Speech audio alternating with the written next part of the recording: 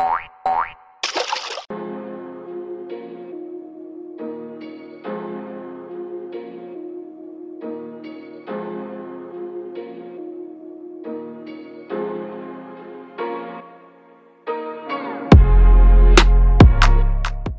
YouTube, what's up? It's your boy Sean here again from Sean's Rabbitry and Aquaponic Produce. We're back with another aquaponics video. You know guys, it's been a real hectic week. You know, we uh, started a build for a new commercial aquaponics system for our client. So we've been there more or less for the entire week. Uh, I'm not gonna say who the project is for as yet. You guys will just have to wait a little longer for that information all in all the project is coming along really nicely like i said it's kept us quite busy but don't worry pretty soon uh, in the next couple weeks or so i'll be releasing a video showing you some of the build that took place there. Uh, when the system is almost complete and of course we'll follow the progress as it goes along. So stay tuned guys. We'll be back with more right after the intro.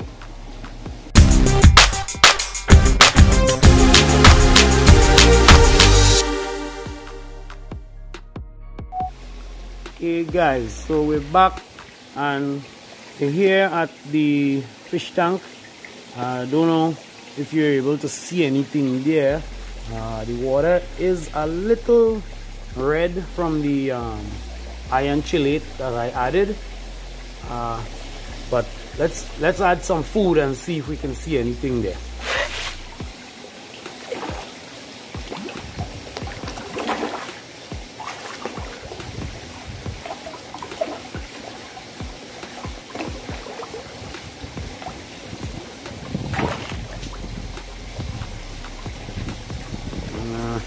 They seem to be a bit shy, but uh, they're taking it in small chomps. Alright, but we'll give them a couple minutes and by the time we're back, I'm sure all that food will be gone. So, I'll just give you guys a quick run through today. Uh, some time ago, I told you all that we were putting some plants into the media beds as well as into the deep water culture beds. And we do a comparison to see how much different they grow. Uh, we had put some cauliflower plants. So we're gonna take a quick look at that today. But first of all let me just give you a quick run through. Well behind me you can see our replacement uh, trees. They've grown quite big since we've removed the larger ones that gave us such lovely fruit now if you can see right there uh, right there I think you can see a couple of fruit on there. So we have some fruit coming on there. So uh, in all honesty these trees aren't looking as bountiful as the ones we had before. However we'll carry them as far as they can go and see what fruit we get from those.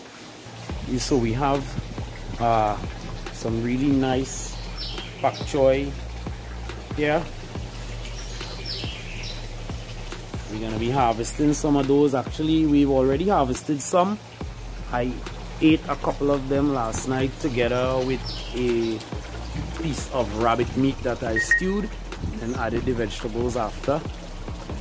So that was quite lovely. Let me take you guys up the road a little bit and show you a quick glimpse of how some of the plants are coming on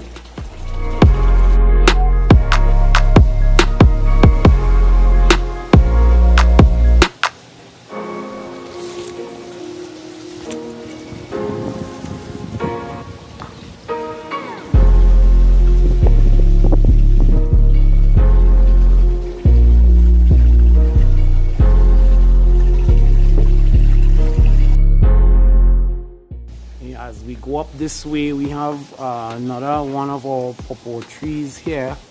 And as you can see well this one seems to be doing a lot better. There are a lot of small fruit coming on there. And so far they've all stayed on. They should start turning green in a few days and starting to grow. So we expect some nice results from this one. Okay so here we are at our media bed and has our cauliflower plants. If I can give you all a good view of them all right they're all looking really nice and healthy uh, coming along nicely now what I have noticed with these uh, in comparison to the ones in the raft bed which you'll see in a little while uh, for the same time that they've planted these are a lot taller.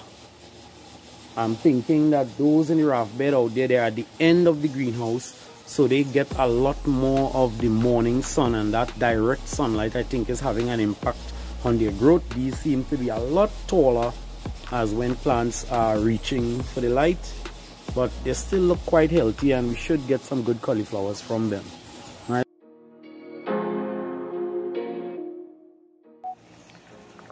okay guys so these are the cauliflower plants that are in the raft bed and judging from what we just saw in the media beds I would dare to say that these are growing slightly better than those up there. Uh, let me just give you a quick zoom in here. If you zoom in you realize the plants are a lot shorter and stockier right? But they all look just as healthy as those with the exception of how much they've grown all of these are a lot shorter their nodes are a lot closer together. So that's the only difference I really see between these and those up there. Uh, there's a slight yellowing uh, of the leaves here. Even on those in the media beds up there and I'm, you know that's a little deficiency that we have to treat with but I haven't really paid much attention to these plants for a couple of weeks you know I've been busy and by the time I get home sometimes in the night you don't really see the discoloration so we've just been feeding the fishes just to keep the system going Guess who just arrived? Always Hello. late to the party. You know it is, always in the background getting something done.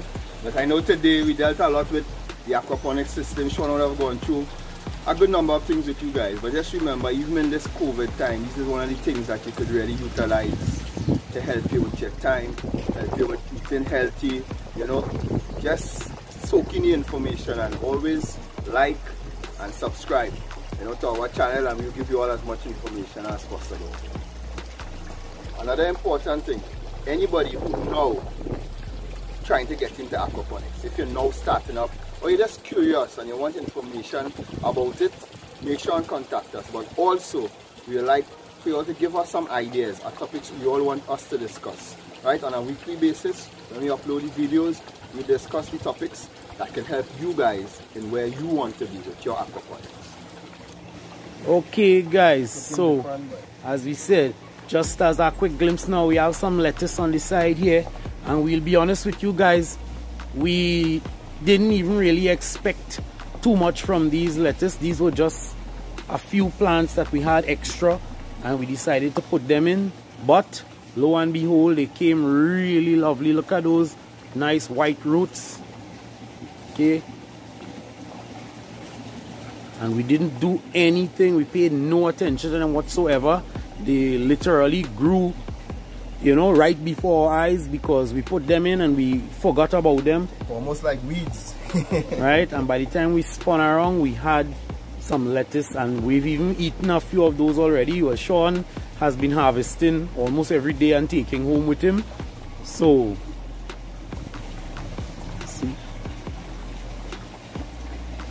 right? Decent head of lettuce for just a couple weeks and almost zero attention you know so that's that's one of the benefits of having aquaponics. Uh, you can almost not entirely but you can almost set it and forget it. You know especially when you have smaller systems that don't need much monitoring. You can put your plants in there and there's not much work to do but you can come back and have something that you can harvest that was grown by you for you. All right guys so that's it for today another aquaponic video from Sean's Rabbitry and Aquaponic Produce so just remember all the information that you got today utilize it hit us up if you want anything discussed in particular. We'll be happy to discuss it for you guys because really and truly, this is all about you. All about you guys, getting you guys the right information, making sure that you all have the right tools to be successful at aquaponics. So again, this is Sean McLean and Sean Austin saying till the next video. Now don't forget guys, make sure and follow Lindell's channel as well. Lindell Brooks Aquaponics. We have a lot more collaborations coming with him soon so you definitely need to follow his channel as well. I'll leave the link to his channel in the description below this video. Until next time guys. Peace. Peace